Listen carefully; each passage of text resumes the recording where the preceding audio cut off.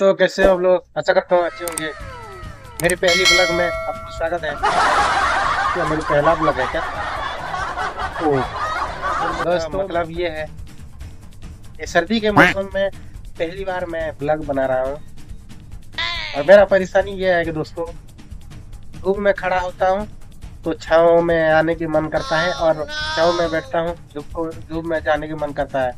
आ, आपके साथ भी ऐसा हो रहा है क्या? कमेंट करके बताना। ये देखो। धूप। वहाँ पे छाँव धूप में बैठ बैठ के दोस्तों चेहरा देखो। सर्दी होने लगा छाव में बैठा तो धूप में जाने लगा। तो दोस्तों आपके उधर क्या हो रहा है? कमेंट करके ज़रूर बताना। ब्लॉग नहीं बना पा रहा हूँ इसलिए क्या बोल रहे हो? कमेंट करके ज़रूर बताना। जय हिंद।